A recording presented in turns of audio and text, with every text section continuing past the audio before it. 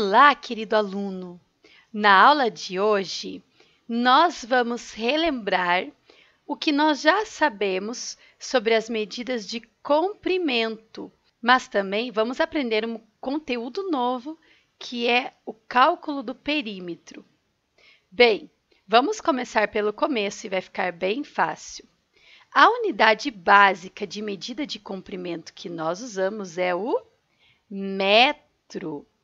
Observe bem, o metro, assim como a grama e o litro, pode ser dividido ou aumentado para se adequar melhor a cada situação. Então, ó, da mesma forma que a grama e o litro, o metro é a unidade básica de medida de comprimento. Ele pode ser dividido em 10 partes menores, e daí nós chamamos de decímetro, cada uma dessas partes mas ele também pode ser dividido em 100 partes menores. E nesse caso, nós chamaremos cada parte de centímetro. Ah, prof, o centímetro eu conheço. O centímetro é uma unidade de medida de comprimento muito utilizada, assim como o metro. Mas o metro também pode ser dividido em mil partes, igual nós dividimos a grama, igual nós dividimos o litro, e nesse caso, cada parte será chamada de milímetro, que também é bastante usado por vocês. Tanto o milímetro quanto o centímetro estão presentes na régua né, que nós usamos na escola. Mas não é só partes menores que nós podemos obter a partir do metro. Nós também podemos obter partes maiores. 10 metros é um decâmetro. Não é muito comum no dia a dia, mas existe, da mesma forma que existe o decalitro e a decagrama. 100 metros é um hectômetro, da mesma forma que existe o hectolitro, a hectagrama, mas também não usamos muito. Agora, um que a gente usa bastante é o quilômetro. Quantos metros tem um quilômetro? Bem, eu já ensinei que a palavra quilo significa mil. Então, um quilômetro tem mil metros. Então, nós podemos ver o metro em várias é, formas diferentes. O quilômetro, que é mil metros, né? Quilo significa mil e metro significa metro, obviamente. Quilômetro é mil metros. Ou o centímetro, que é o metro dividido em 100 partes, porque centi significa que aquilo foi dividido em 100 partes. Ou o milímetro, que é o metro dividido em mil partes. Eu já ensinei que o mili significa que aquilo foi dividido em mil partes, como o mililitro, por exemplo, que nós usamos bastante, né, a ml. Bem, o que você tem que ter em mente é que, assim como a grama e o litro, o metro é a unidade principal de medidas de comprimento.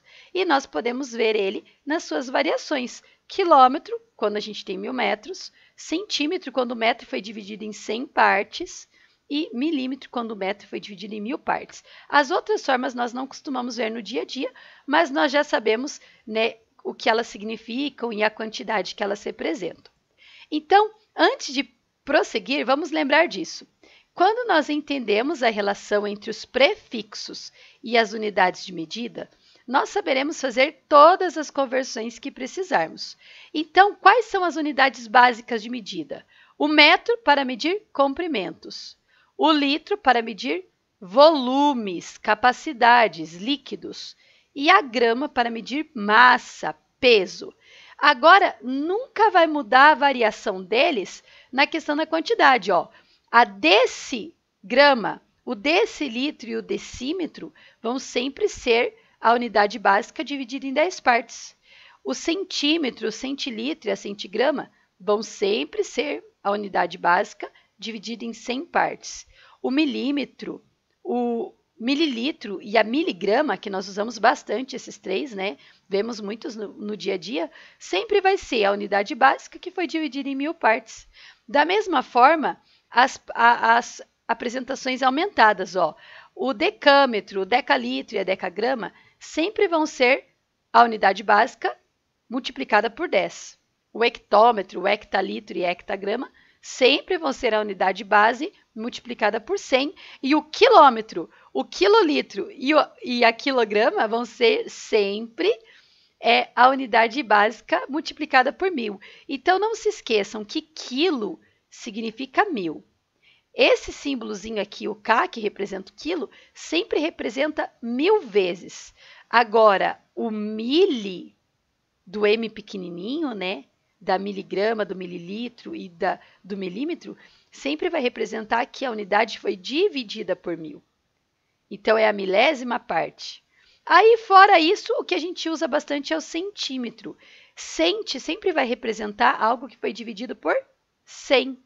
Por isso que, sabendo desses prefixos, eu consigo saber a quantidade da medida que aquilo está representando e se for preciso fazer conversão, vai ficar mais fácil, né? Porque eu sei quantos metros tem em um quilômetro, claro, porque quilo significa mil. Eu sei quantos centímetros tem em um metro, porque, claro, cente significa que ele foi dividido por 100. Então, essa tabelinha que nós construímos juntos nas aulas passadas e que nós estamos relembrando hoje, ela precisa estar sempre na sua mente.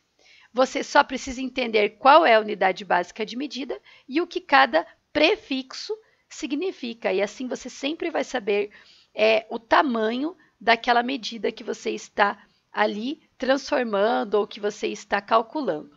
Agora, antes de ir embora, e o perímetro? Você não falou, prof, que a gente vai aprender sobre perímetro? Gente, eu vou ensinar sobre perímetro para vocês e vocês não vão acreditar que fácil que é. É muito fácil. Depois que você aprende o perímetro uma vez, você nunca mais esquece, porque é muito fácil. O perímetro é a medida de todos os lados de uma figura. Ó, vocês estão vendo aqui esse campo de futebol? Eu contornei o perímetro dele. Essa linha vermelha que eu fiz em volta é o perímetro. E se eu quisesse saber quanto que tem de perímetro, eu teria que somar todos os lados. Ai, prof, peraí, mas tem um problema. Só tem a medida de dois lados. Aí, nesse caso, você tem que usar a tua inteligência. Você está vendo que esse lado é exatamente igual a esse? Então, se esse tem 50 metros, aqui também tem. 50 mais 50 é 100. Você está vendo que esse lado é igual a esse? Bem, se aqui tem 30 metros, aqui também tem. 30 mais 30 é 60. Então, é só somar, ó, 50 mais 50, que é 100, mais 30, que é 130, mais 30, que dá 160 metros. Olha, eu somei a medida de todos os lados e descobri que o perímetro desse campo de futebol é 160 metros. Não posso esquecer de colocar o M do metro aqui. Agora, nesse caso aqui, é um quadrado e só tem a medida de um lado. Eu não posso esquecer que o perímetro é a medida de todos os lados, a soma. Então, eu tenho que somar esse lado, mais esse lado, mais esse lado e mais esse lado. E como o quadrado tem todos os lados iguais, eu sei que se esse tem 4 centímetros, todos têm 4 centímetros. Aí eu posso até pensar diferente. Esse lado tem 4 centímetros, o quadrado tem 4 lados iguais.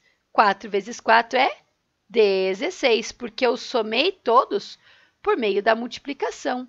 16 centímetros. Tá vendo que aqui estava escrito metros, então eu somei e coloquei metros. Aqui estava escrito centímetro, então eu coloquei centímetro. Ai, prof, e a estrela? Bem, a estrela não muda nada, continua a mesma coisa. Eu tenho que somar o contorno dela, porque o perímetro é o contorno. Então, eu vou ter que somar quanto tem em todos os ladinhos. Ó, um, que eu sei que vale 2. Mais outro, que eu sei que vale 2. Então, deu 4 mais outro, que vale 2, deu 6. Mais outro, que vale 2, já deu 8. Mais outro, e mais outro, e mais outro, ó, até terminar. No final, eu posso contar quantos ladinhos tinha, ó. Olha, vou começar aqui onde está o 2, ó. 1, 2, 3, 4, 5, 6, 7, 8, 9, 10. Tem que prestar bem atenção onde começa, que é para não contar nada duas vezes, né? Ó, a minha estrela tem 10 lados iguais e cada lado tem 2.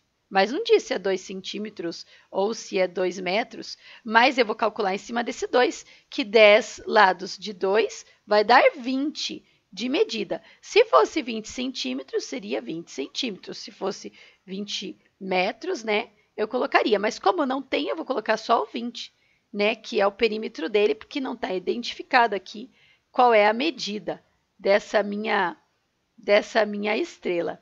Mas assim, o que você precisa entender é que o perímetro é muito fácil de calcular. É só você calcular a soma da medida de todos os lados. Não pode esquecer de nenhum lado, e se algum lado não tiver identificado, você vai olhar outro que seja igual que esteja identificado. Então, por hoje é só. Você fará algumas atividades, inclusive de perímetro, para treinar aí seu conhecimento. E nas próximas aulas nós vamos aprender a calcular a área, que é esse espaço que tem dentro da figura, porque nós já sabemos calcular o contorno dela, que é o perímetro. E nas próximas aulas vamos aprender a calcular a área. Espero que você tenha gostado de aprender esse conteúdo novo, super fácil, e que você se divirta fazendo as atividades. Um beijo e até a nossa próxima videoaula. Tchau!